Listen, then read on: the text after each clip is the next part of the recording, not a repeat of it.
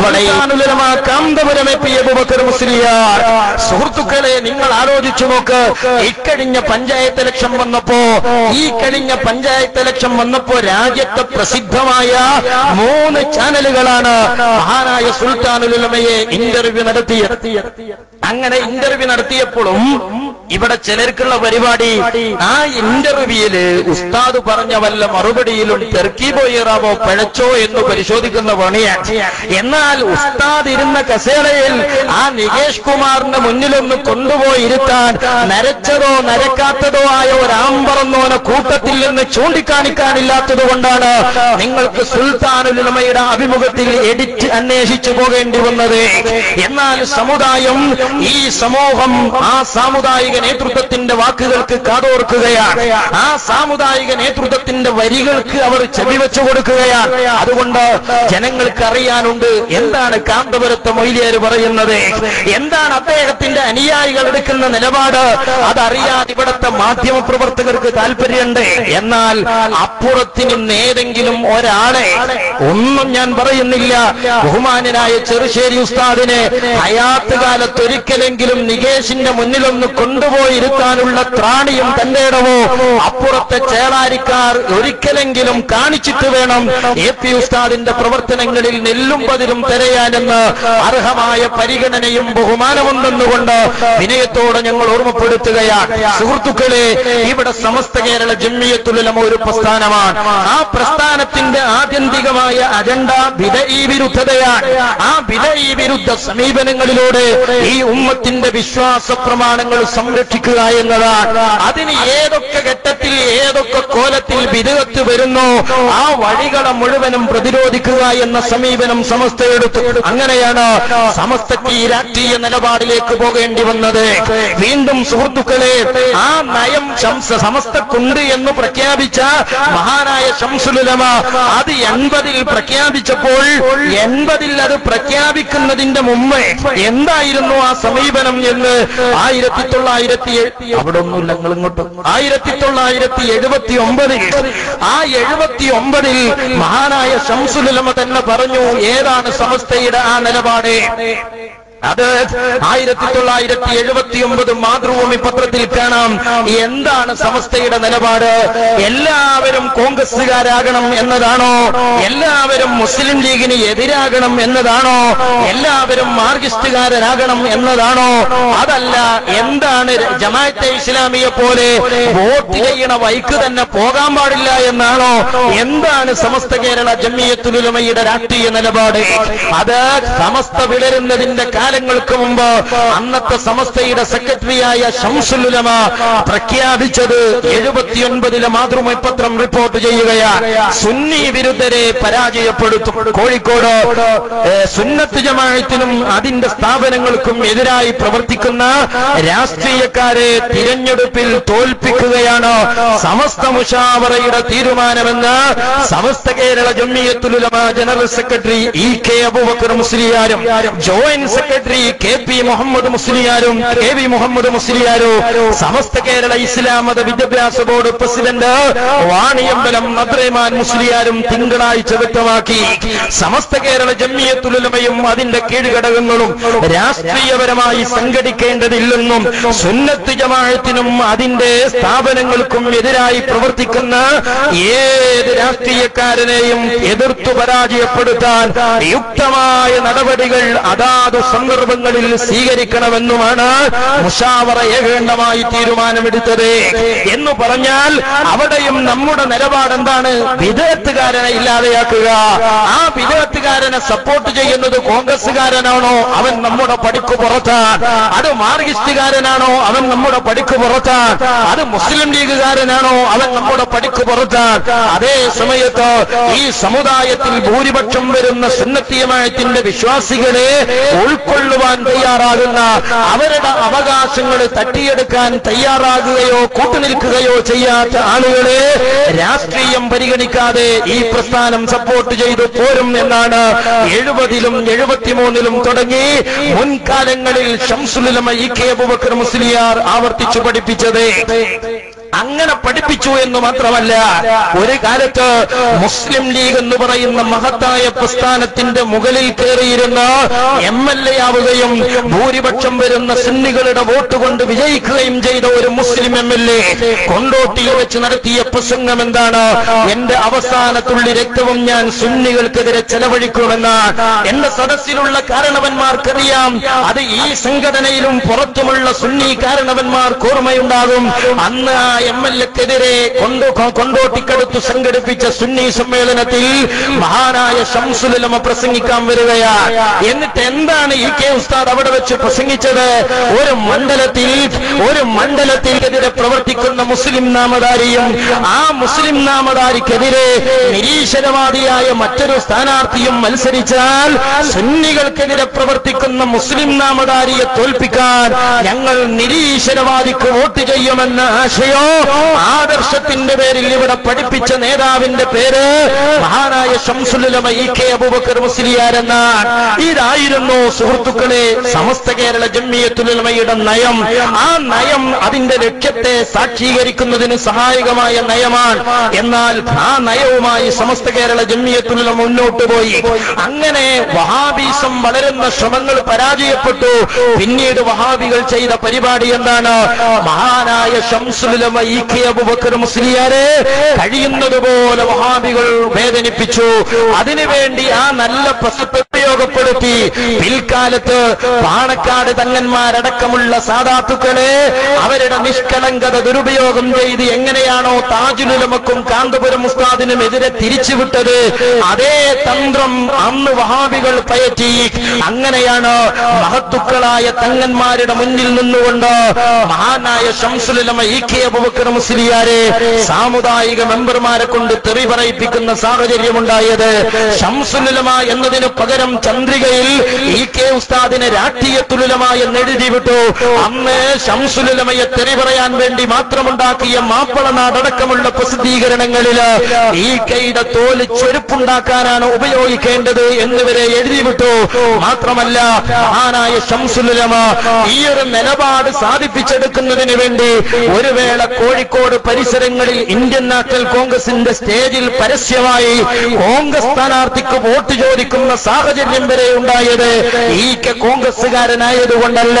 ഈ കെ ഉസ്താദ് ഒരു സുന്നി ആശയക്കാരനും വഹാബി വിരുദ്ധനുമായതുകൊണ്ടാണ്. ഈ നിലപാടുമായി പോയപ്പോൾ വഹാബികൾ പിന്നെ അടുത്തുണ്ടാക്കിയ പദ്ധതി എന്താണ്? ഇനി ആലിമീങ്ങളെ കൊണ്ട് തന്നെ മുമ്പ് പറഞ്ഞത് തിരുത്തി പറയിപ്പിക്കണം. സംഘാടകർ പിരിവിന് വരുന്നുണ്ട്. നന്നായി സ്വതക്ക ചെയ്യണം. അള്ളാഹു കബൂൽ ചെയ്യുമാറാവട്ടെ. പിന്നെ വഹാബികൾ ചെയ്ത പണി ചതിയുടെ അങ്ങേ അറ്റമാണ്. അതെന്താണ്? ആലിമീങ്ങളെ കൊണ്ട് ഇത് മുഴുവനും തിരുത്തി പറയിപ്പിക്കണം. അത് പറയിപ്പിക്കണമെങ്കിൽ ആലിമീങ്ങൾക്കിടയിൽ ഭിന്നത കൊണ്ടുവരണം. അങ്ങനെ മഹാനായ ഷംസുലുലമയുടെയും എ പി ഉസ്താദിന്റെയും ഇടയിൽ അന്ന് ഷംസുലുലമ രാഷ്ട്രീയ പ്രവർത്തകരാലും വിധയികളാലും ക്രൂശിക്കപ്പെടുമ്പോൾ അന്ന് ഷംസുലുലമക്ക് ശക്തമായി പിൻബലം നൽകിയ യുവ പണ്ഡിതനാണ് മഹാനായ സുൽത്താനുലുലമ. ആ ഒരു ബന്ധം തകർക്കുക എന്ന അജണ്ട സ്വീകരിച്ചുകൊണ്ട് അവരെ രണ്ടുപേരെയും തെറ്റിക്കാനുള്ള ശ്രമം നടത്തി. അങ്ങനെ ശ്രമം നടത്തി പക്ഷേ ഒരു കാര്യമുണ്ട്. അങ്ങനെ ഒരു ശാക്തീകരണം സുന്നികൾക്കിടയിൽ ഉണ്ടായപ്പോൾ ഇവിടെ ചിലതൊക്കെ നേടാൻ കഴിഞ്ഞു. എന്താണത്? വഹാബികൾ അധികാരത്തിന്റെ അരികുപറ്റി കൊണ്ടുവന്ന പാഠപുസ്തകങ്ങളിലെ വിതയി കോമാളികളെ അതിൽ നിന്ന് പിഴുതെറിയാൻ കഴിയും. വക്കം മൗലവി ചരിത്രത്തിൽ നിന്ന് ഔട്ടായി. അതുപോലെയുള്ള വഹാബി പിന്തിരിപ്പന്മാർ മുഴുവനും സാമൂഹിക മുഖ്യധാരയിൽ നിന്ന് പൊതുഖജനാവിന്റെ പിൻബലത്തിൽ പഠിപ്പിക്കപ്പെടുകയും പരിചയപ്പെടുത്തപ്പെടുകയും ചെയ്യുന്ന സാഹചര്യം നമ്മൾ ശാക്തീകരിക്കപ്പെടുകയും നമ്മൾ കൃത്യമായ നയനിലപാടുകൾ സ്വീകരിക്കുകയും ചെയ്തതോടുകൂടെ ഉണ്ടായി. അത് ഒരു മൗലവി തന്നെ പറയാം തൊള്ളായിരത്തി എൺപതുകളിൽ സുന്നികൾ ഇവിടെ സമരം കൊണ്ടുവന്നു. എന്തിനെ? വഹാബി അറബി പാഠപുസ്തകത്തിൽ വക്കം മൗലവി കൊണ്ടുവന്ന കുറെ കരിഞ്ചന്തണ്ട്. ആ കരിഞ്ചന്ത പൊതുഖജനാവിന്റെ ഫണ്ട് ഉപയോഗിച്ച് പഠിപ്പിക്കാൻ പാടില്ല എന്ന് ഇവിടെ സുന്നികൾ രംഗത്ത് വന്നപ്പോ ചരിത്രം ശുദ്ധികലശം നടത്തി. അറബി പാഠപുസ്തകം ശുദ്ധികലശം നടത്തി. അവസാനം എന്തുണ്ടായി? മൗലവി തന്നെ പറയാണ് ആ പാഠപുസ്തകം അറബി ഭാഷയ്ക്ക് കൊണ്ടുവന്ന വക്കം മൗലവിനെ പിന്നെ പാഠപുസ്തകത്തിൽ കാണാണ്ടാതെ കാണാല്ലാതെയായി. എൺപതുകളുടെ അവസാനത്തിൽ കേരളത്തിലെ സുന്നികളുടെ ഒരു സമരം സ്കൂൾ പാഠപുസ്തകത്തിലെ വഹാബിസം നീക്കം ചെയ്യുക. നീക്കം ചെയ്യേണ്ട ലിസ്റ്റിൽ ഒരു പാഠം ഏതാ? വക്കം അബ്ദുൽ ഖാദർ മൗലവിയെ പറ്റിയുള്ള പാഠം പഠിപ്പിക്കാൻ പാടില്ല സ്കൂളിൽ. ആലോചിച്ചു ആലോചിച്ചിട്ട് തന്നെയാ ഞങ്ങളത് പറഞ്ഞത്. ആ ആലോചന ശരിയായിരുന്നു എന്നാണ് പിന്നെ കാലം ബോധ്യപ്പെടുത്തിയത്. ഏതൊരു മനുഷ്യനാണോ സ്കൂളിൽ അറബി പഠനം ആരംഭിച്ചത്? ആ മനുഷ്യനെ പറ്റി സ്കൂളിൽ പഠിപ്പിക്കാൻ പാടില്ല. കാരണം അയാൾ അതിന്റെ ഒരു ആവശ്യം ഇല്ലായിരുന്നു അതിന് അയാൾ ഒരു ആവശ്യം സമുദായത്തിനില്ലായിരുന്നു. അയാൾ വിളിക്കാതെ വന്നതാണ്. അയാൾ ചുളിവിലൂടെ കയറി വന്നതാ. സർക്കാർ അത് നീക്കി. എന്തേ ഓരൊക്കെ പൊട്ടന്മാരായിട്ടോ അതോ കാര്യം തിരിഞ്ഞിട്ടോ? നാട്ടുകാർ മുഴുവൻ പൊട്ടന്മാരായതോ അതോ ജനങ്ങൾക്ക് മുഴുവൻ ചരിത്രം ബോധ്യപ്പെട്ടതാണോ? സുഹൃത്തുക്കളെ ഈ ഒരു സാഹചര്യം വന്നപ്പോ പിടിച്ചു നിൽക്കാൻ കഴിയില്ലെന്ന് കണ്ടുകൊണ്ട് മഹത്തുക്കളായ ആലിമീങ്ങളെ തമ്മിലടിപ്പിക്കാനും ആലിമീങ്ങൾ മുമ്പ് പറഞ്ഞതിൽ നിന്ന് അവരെ പുറകോട്ട് കൊണ്ടുപോകാനുമുള്ള ശ്രമങ്ങളുണ്ടായി. ആ ശ്രമങ്ങളുണ്ടായപ്പോൾ അറിഞ്ഞോ അറിയാതെയോ മഹാനായ അതിൽ പെട്ടുപോയി അള്ളാഹു അദ്ദേഹത്തിന്റെ ദറജ ഉയർത്തി കൊടുക്കുമാറാവട്ടെ. അതിലേക്ക് വിശദമായി നമ്മളിപ്പോൾ കടന്നു പോകുന്നില്ല എന്തുകൊണ്ട്? ഒന്ന് അദ്ദേഹം മഹാനായ പണ്ഡിതനാൻ അദ്ദേഹത്തിന്റെ ജീവിതത്തിൽ വല്ല ജല്ലത്തുകളും ഇടർച്ചകളും സംഭവിച്ചിട്ടുണ്ടെങ്കിൽ മരിക്കുന്നതിന്റെ മുമ്പ് തൗബയുടെയും മനസ്താപത്തിന്റെയും സമസ്തയിലെ യോജിപ്പിന്റെയും വസീയത്ത് ഉമ്മത്തിന് പകർന്നുകൊണ്ടാണ് അദ്ദേഹം മരണപ്പെട്ടു പോയത് മൂന്ന് മരിച്ച ഒരു മനുഷ്യനെ പറ്റി ഗുണം പറയണം എന്നതാണ് മുഹമ്മദ് റസൂലുള്ളാഹി സ്വല്ലല്ലാഹു അലൈഹി വസല്ലം തങ്ങൾ പറഞ്ഞത്. ഇത്തരം ചില നിലപാടുകളുടെ കാരണം ആ ചരിത്രത്തിലേക്ക് തൽക്കാലം ഞാൻ കടന്നു പോകുന്നില്ല പക്ഷേ ഒരു കാര്യം സൂചിപ്പിക്കട്ടെ. അന്ന് ശംസുലമയെ ചിലർ ദുരുപയോഗം ചെയ്യുകയും അദ്ദേഹത്തെ ചിലർ തെറ്റിദ്ധരിപ്പിക്കുകയും ചെയ്ത് അതുവരെ അദ്ദേഹത്തിന് കാവൽ കിടന്ന സുൽത്താൻ ഉലമ കാന്തപുരം ഉസ്താദിനെതിരെ ഇ കെ ഉസ്താദിനെ കൊണ്ട് പറയിപ്പിക്കുകയും കാന്തപുരം ഉസ്താദിനെതിരിൽ മാത്രമല്ല പണ്ട് എന്തായിരുന്നു ഇ കെ ഉസ്താദ് പറഞ്ഞത്? അതിനെതിരെ തന്നെ ഇ കെ ഉസ്താദിനെ കൊണ്ട് പറയിപ്പിക്കുന്ന സാഹചര്യങ്ങൾ ഉണ്ടായി അങ്ങനെയാണ് സുഹൃത്തുക്കളെ നേരത്തെ ഞാൻ പറഞ്ഞ പാഠപുസ്തകം ആദാബുസലാം എന്ന പേരിൽ നമ്മുടെ കൊച്ചുകുട്ടികളിലേക്ക് പകർന്നുകൊടുത്ത വിധയി വിരുദ്ധ ആശയം അത് ഇല്ലാതെയാക്കാൻ ആ പാഠപുസ്തകം തന്നെ ഇല്ലാതെയാക്കുന്ന സാഹചര്യമുണ്ടായി. ചിലർ പറഞ്ഞു നമുക്ക് ആ വരി അതിൽ നിന്ന് മാറ്റണം. അപ്പോൾ ചിലർ പറഞ്ഞു നമുക്ക് ആ പാഠ ഒഴിവാക്കാം. ആ സമയത്ത് നമുക്ക് ആ പുസ്തകം തന്നെ മാറ്റിയിട്ട് മറ്റൊരു രൂപത്തിൽ ആ പുസ്തകം അച്ചടിക്കാം എന്ന ചില നിലപാടുകൾ വന്നപ്പോ പല കാരണങ്ങളിൽ ഒരു കാരണം എന്ന നിലയ്ക്ക് മഹാനായ താജുലുലമ ഉറക്കെ പറഞ്ഞു അതുമായി യോജിച്ചു പോകാൻ ഞങ്ങൾക്കാവുകയില്ല അങ്ങനെ ഇപ്പോൾ എന്ത് സംഭവിച്ചു? ആ രംഗത്ത് എന്തുകൊണ്ട് സമസ്ത പിളർന്നു എന്നതിനെ ലളിതമായി നമുക്ക് പറയാവുന്ന ഒരു കാരണം നിങ്ങൾക്ക് കാണാം. ഇന്ന് ആ നിലപാടിൽ ചേളാരി സമസ്തയില്ല. ആ നിലപാടിൽ ഇല്ല എന്ന് മാത്രമല്ല ആ നിലപാട് പഠിപ്പിച്ചിരുന്ന പഴയകാല പാഠപുസ്തകങ്ങളിൽ ഇന്ന് വഹാബി എന്നോ മുജാഹിദെന്നോ ജമാഴത്തെന്നോ പദം പോലും അവർ ബോധപൂർവം ഒഴിവാക്കുകയാണ്. ഇത് നമ്മളൊരു ആരോപണമായി പറയല്ല. ഇത് പറഞ്ഞാൽ ഒരുപക്ഷെ ഇനി അതിന് പറയാൻ പോകുന്ന ഒരു മറുപടിയുണ്ട്. ആ മറുപടി നിങ്ങളെ കേൾപ്പിച്ച് അതിനുകൂടി ഞാൻ വിശദീകരണം തരികയാണ്. എന്താണ് അതിന് പറയുന്ന മറുപടി? ഞങ്ങൾ മുജാഹിദ് ജമാഅത്തെ ഇസ്ലാമി എന്നത് ഒഴിവാക്കിയിട്ടില്ല എന്ന് പറഞ്ഞിട്ട് അതിനൊരു മൗലവി പറയുന്ന മറുപടി നിങ്ങൾക്ക് കാണാം. പിന്നെ വഹാബ് സഖാബി വല്ലാതെ പരിഹസിച്ചൊരു പുസ്തകം ഇതാണ് ഇത് ഞാൻ പറയാം. ഇവിടെ പരിഹസിക്കണ പരിപാടില്ല നമ്മൾ ചെയ്യുന്നത് മുഴുവൻ പരാമർശങ്ങളാണ്. ഇത് നമ്മുടെ നമ്മുടെ വിദ്യാഭ്യാസ ബോർഡിന്റെ ഇസ്ലാമത വിദ്യാഭ്യാസ ബോർഡിന്റെ നാലാം ക്ലാസ്സിലേക്ക് തയ്യാർ ചെയ്ത അഖ്ലാഖാണ്. ഈ അഖ്ലാഖിലെ രണ്ടാമത്തെ പാഠം ആദാബ് ആദാബുസലാം എന്ന പാഠം എടുത്ത് അദ്ദേഹം ഇവിടെ വല്ലാതെ പരിഹസിച്ചിട്ടുണ്ട്. വല്ലാതെ പരാമർശിച്ചിട്ടുണ്ട്. കാരണം അത് പരാമർശിക്കേണ്ട ഒരു വിഷയം തന്നെയാണ്. എന്താ അദ്ദേഹം പരിസ പരിഹസിച്ചതെന്ന് നിങ്ങൾ? പഴയ കാലത്ത് പാഠപുസ്തകത്തിൽ മുജാഹിദ് ജമാഅത്തെ ഇസ്ലാമിക്കാരോട് സലാം പറയരുത് എന്നുണ്ടായിനത്. അത് നിങ്ങൾ എടുത്തു മാറ്റിയില്ലേ അത് എടുത്തു മാറ്റിയില്ലേ തന്നെയാ ഞങ്ങൾ പച്ച മലയാളത്തിൽ ചോദിക്കണം ഇത് കേൾക്കുമ്പോ വിചാരിച്ചു ഇന്നെ എടുത്തു മാറ്റിലേ അമ്മേ അങ്ങനെ തന്നെയാ വിചാരിച്ചണ്ട് അതിന്റെ അപ്പുറം വിചാരിച്ച തെറ്റിദ്ധാരണയോ? അപ്പൊ എന്നാ ഇനി മുജാഹിദിനോടും ജമാഅത്തിനോടും സലാം പറയണം നയിക്കാരം പുതിയ ബുക്കിൽ എന്നാണ് കേട്ടവർക്ക് തോന്നുക. അങ്ങനല്ല കാരണം പലയിടത്തും ഞങ്ങളും പുടേരിയും വരിസംഖ്യയും തരുന്നുണ്ട് നിങ്ങൾക്ക് അറിയാം അതുകൊണ്ട് അങ്ങനെ പച്ചയിൽ നിങ്ങൾ എഴുതിയിട്ടില്ല. ആ രൂപത്തിൽ ഇയാൾ കോട്ടി മാട്ടി ഇങ്ങനെ ഇയാൾ കുറേയേറെ സംസാരിച്ചു. പഴയ കാലത്തെ മുക്കലിജ് മുജാഹിദ് ജമാഅത്തുകളോട് സലാം പറയരുത് എന്നുണ്ടായിരുന്നു ഓക്കെ ഇനി ഇപ്പത് കാണാനല്ല. കാണാല്ല നിങ്ങളാ എടുത്തു മാറ്റിയില്ലേ? അപ്പൊ കേൾക്കണോര് വിചാരിച്ചു "ഓ, അതൊക്കെ എടുത്തു മാറ്റിപ്പോ ഓരോടൊക്കെ കോംപ്രമൈസ് ആകാൻ നയിക്കാരതിലുണ്ടാകുക അങ്ങനല്ല പക്ഷെ നിങ്ങൾ കോംപ്രമൈസിലപ്പൊ ഉള്ളത് ആ സാധു പുതിയ ബുക്കിൽ നിന്ന് വായിച്ചില്ല വായിച്ചിട്ട് കാര്യമില്ല എന്റെ സമയം തൊള്ളിയിലെ കാറ്റും പോയി കിട്ടും അതുകൊണ്ടാ വായിക്കാത്ത. കാട്ട് കള്ളന്റെ പണിയെടുത്തു അയാൾ ഇവിടെ. സത്യസന്ധന്റെ ഏർപ്പാടേ നമ്മൾ ചെയ്യലുള്ളൂ. എന്താ പുസ്തകത്തിലുള്ളത്? അതില്ല. വേറെ പലതുണ്ട്. ഒന്നും ആ ബുക്കിലില്ല എന്ന് നമ്മൾ പറഞ്ഞിട്ടില്ലല്ലോ. അതില്ല എന്നാ പറഞ്ഞ ദരസരന്റെ ആദാബു സലാം മുസ്ലിങ്ങൾ തമ്മിൽ കാണുമ്പോൾ ആദ്യമായി ചെയ്യേണ്ടത് സലാം പറയലാണ്. ആദം നബി അലഹിസ്സലാം മുതൽ നിലവിലുള്ള അഭിവാദനമാണ് സലാം പറയൽ. പരസ്പര സ്നേഹമുള്ള ഉണ്ടാകുന്നതാണ് സലാം എന്ന് നബി സല്ലാ അലൈഹി വസല്ലമ പറഞ്ഞിട്ടുണ്ട്. ഇനി കേട്ടോളി. സലാം പറയൽ സുന്നത്തും മടക്കൽ നിർബന്ധവുമാകുന്നു.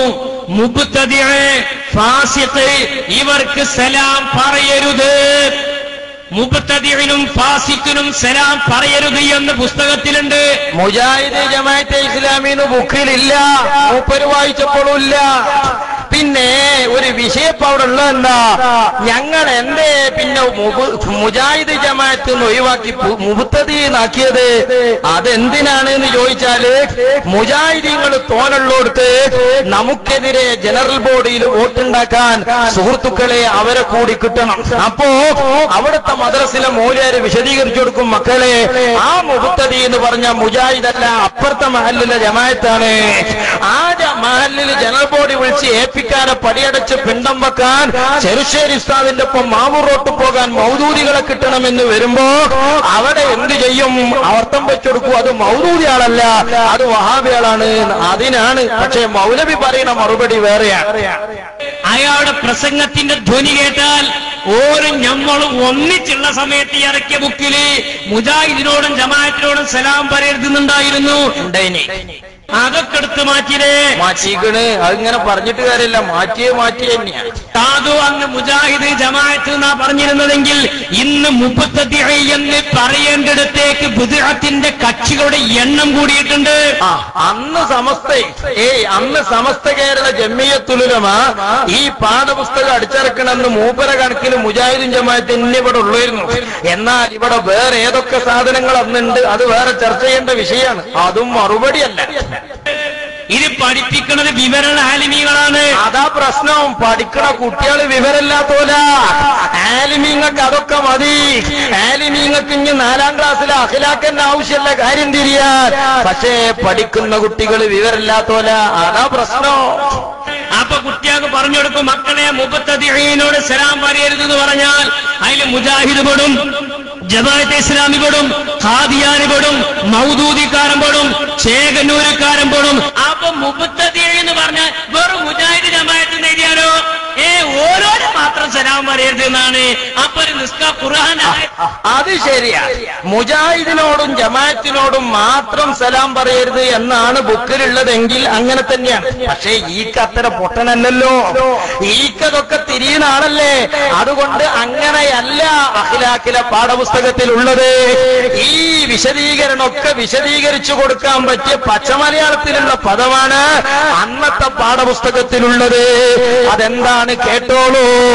എന്നാൽ മുജാഹിദ് ജമാഅത്തെ ഇസ്ലാമി തുടങ്ങിയ പുത്തൻവാദികൾക്ക് ഇവർ പറഞ്ഞ മുബത്തതി എന്നത് ഇവിടെ ഉണ്ട് അതിന്റെ പച്ച മലയാളം പുത്തൻവാദിനാണ് പുറമെ അതിന് ജനങ്ങൾക്ക് തിരിയുന്ന പ്രധാനപ്പെട്ട രണ്ട് ഉദാഹരണം കൊടുത്തുകളെ ഇനി മുതലായ അല്ലെങ്കിൽ തുടങ്ങിയ എന്ന് പറഞ്ഞതുകൊണ്ട് ഇനി ഏതൊക്കെ വരുന്നോ ഇവരെ തന്നെ അതിൽ എണ്ണേണ്ട ഗതികേട് വന്നാൽ അതും കൂടി എണ്ണാൻ പറ്റിയ കണ്ടീഷനിലാണ് സുഹൃത്തുക്കളെ അന്നത്തെ പാഠപുസ്തകമുള്ളത് ഈ വിശദീകരണം ഒരു മുഅല്ലിമിന് വിശദീകരിച്ചു കൊടുക്കാൻ ഈ പ്രയോഗം മാറ്റിയിട്ട് മുബത്തതി എന്ന് പറയേണ്ട ആവശ്യമില്ല. ജമാഅത്തെ ഇസ്ലാമി മുജാഹിദ് ജമാഅത്തെ ഇസ്ലാമി തുടങ്ങിയ എന്ന് പറഞ്ഞ പിന്നെ ബാക്കിയതാ ഏതാ? കുട്ടികളെ ഈ തുടങ്ങിയ സാധനങ്ങൾ? അത് ചേകന്നൂരാണ് കാദ്യാനിയാണ് എന്നൊക്കെ പറഞ്ഞിട്ട് എല്ലാം എണ്ണാൻ പറ്റിയതാണ്. കൂട്ടത്തിൽ വീണ്ടും പറയുന്നു പുത്തൻവാദികൾ. ഏതാണ് പുത്തൻവാദികൾ? ഒക്കെ തിരിയുന്ന കേസാ പിന്നെന്തിനാണ് മറ്റേ അജ- അജണ്ട കൊണ്ടുവന്നത്? എല്ലാ മഹല്ലുകളിലും പറമ്പിൽ പള്ളിക്കൽ ബസാറിലൊക്കെ അറിയില്ലേ നിങ്ങൾ മരിച്ചുപോയ വഹാബിയാളവരെ ഇലക്ഷനിൽ വോട്ട് ചെയ്യാൻ കുഴിമാടങ്ങളിൽ നിന്ന് കുഴിച്ചെടുത്തു കൊണ്ടുവന്ന ക്രൂരത. അങ്ങനെയാണ് പലയിടത്തും ഉണ്ടായത്. പക്ഷേ ജനങ്ങളെ മുന്നിൽ മര്യാദക്കുള്ള ഇലക്ഷന് വന്നപ്പോ പറമ്പിൽ ബസാറിന്റെ പരിസരത്ത് അതിന് ചൂട്ടുപിടിച്ച ഒരു പച്ചക്കാരനെയും കാണാനില്ല. ആ ഒരു സാഹചര്യം നമ്മൾ തിരിച്ചറിയേണ്ടതുണ്ട്. അപ്പോ